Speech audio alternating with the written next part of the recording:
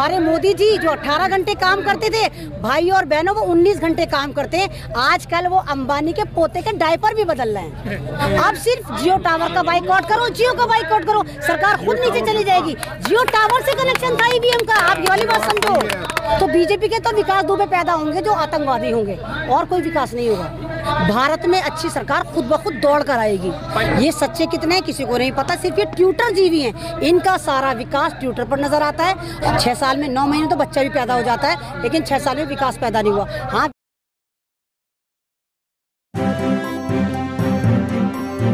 Media voice आपकी आवाज़।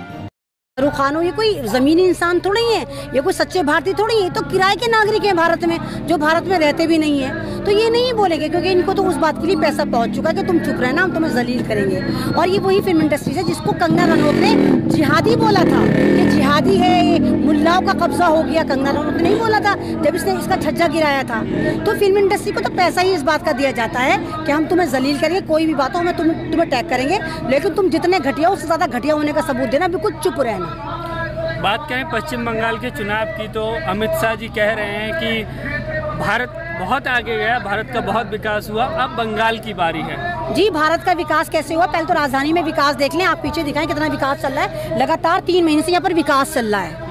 है ना, किसान सड़कों पर पड़ा, बहुत ज़बरदस्त विकास कर रहा है। ये बीजेपी वाले और ये हमारे जो प्रधानमंत्री हैं, ये झूठ का जनरेटर हैं, जो सिर्फ़ झूठ का धुआँ छोड़ते रहते, काला धुआँ हर तरफ़ बादल फैलाते रहते। ये सच्चे कितने हैं, किसी को नहीं पता, सिर्फ़ ये ट्यूटर जीवी हैं। इनका सारा विकास ट्यूटर पर नज़र आता है और सन 2014 से पूरा भारत की पब्लिक परेशान है कि वो विकास नामी चीज़ पैदा क्यों नहीं होती। छह साल में नौ महीने तो बच्चा भी पैदा हो जाता है, लेकिन छह साल में विकास पैदा नहीं हुआ। हाँ विकास पैदा हुआ था तो विकास दुबे पैदा हुआ था। कैसा हुआ था, पूरी दुनिया ने देखा था, जो यूपी में पैदा हुआ था वो विकास ऐसा हुआ था विकास दुबे के जिसने पुलिस का ही एनकाउंटर कर दिया था। तो बीजेपी के तो विकास दुबे पैदा होंगे जो आतंकवादी होंगे और कोई विकास नहीं होगा। अमित शाह जब ये कहते हैं तो एक बात समझ में नहीं आती है कि वो भारत को आगे बढ़ने की बात कहते हैं कि भारत का विकास हो गया तो पश्चिम बंगाल कैसे पीछे रह जाएगा? वो भी तो भारत का ही हिस्सा है ना? तो ये कहते हुए सोचते थोड़े ही। है। जब ये बोलते हैं तो इनको पता थोड़ी होता है इनको ये थोड़ी पता है कि भारत में बुद्धिजीवी भी रहते हैं जो आपकी बातों को पकड़ेंगे। जब ये बिहार में गए थे तो कोरोना फ्री दे रहे थे। क्या कोरोना फ्री दी बिहार में इन्होंने? नहीं दी। तो ये झूठ के जनरेटर सिर्फ़ झूठ बोलते हैं। और बंगाल में तो खैर आप नाकाम होकर लौटेंगे, बैरंग होकर लौटेंगे। आप इसी तरह जलील होंगे जैसे आप पंजाब में जलील हुए। पंजाब में देखिए सिर्फ़ जियो के टावर उखाड़े, हुकूमत खुद उखड़ गई इनकी वहाँ पर। जो इनकी सीटें थी, बीजेपी ने खाता भी नहीं खोला। तो भारत की पब्लिक को एक बात समझ लेनी चाहिए कि जियो टावर का कहीं ना कहीं रिलेशन जो है वो ईवीएम से निकल कर आता है। आप सिर्फ़ जियो का बहिष्कार करिए, जियो टावर का बहिष्कार करिए। भारत में अच्छी सरकार खुद ब खुद दौड़ कर आएगी। पंजाब में तो बीजेपी के नेता भी कहने लगे कि ईवीएम में गड़बड़ी हुई है जिसकी वजह से हमारी मतलब जो बात भारत के तमाम लोग 140 करोड़ कह रहे हैं कि ईवीएम घोटाला हो रहा है ये ईवीएम की सरकार है तब तो ये सरकार नहीं मानती थी। और आज जब इनके टावर तोड़ के इनको धूल चटा दी गई तो बीजेपी के कार्यकर्ता खुद कह रहे हैं कि भाई पूरे महल्ले ने कसम खाई थी हमें वोट देंगे।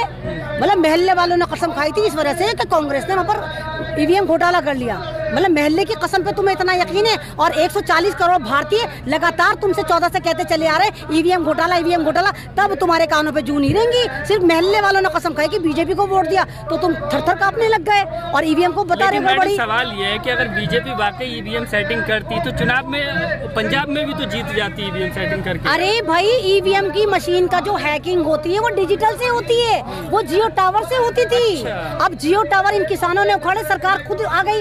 अब सिर्फ़ जियो टावर का बाइकआउट करो जियो का बाइकआउट करो सरकार खुद नीचे चली जाएगी।